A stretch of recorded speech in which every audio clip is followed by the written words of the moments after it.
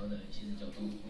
对，然后角三加角四会等于一五一，它因为角一加呃不不不，角一跟角四是对顶角，所以它们两个相等，所以角四等于角一，然后这两个相加就变成这样，等于两个角一加角二加角三等于两百三十度，啊角一加角二加角三等于一百八十度，所以上面的减下面的就会等于角一等于。